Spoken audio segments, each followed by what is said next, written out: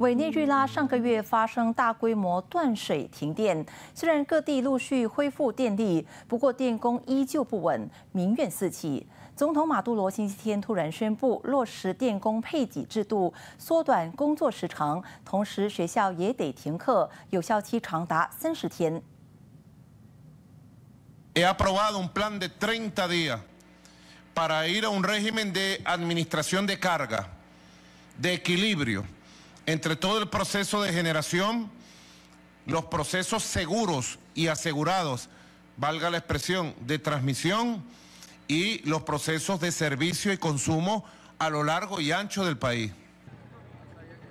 马杜罗通过电视媒体宣布，这项计划能够有效改善电力和水供中断的问题。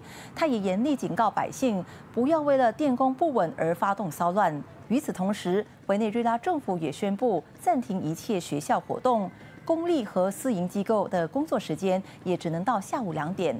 尽管如此，当地机电工程协会认为断电情况将持续恶化，人民依旧会活在水深火热的环境。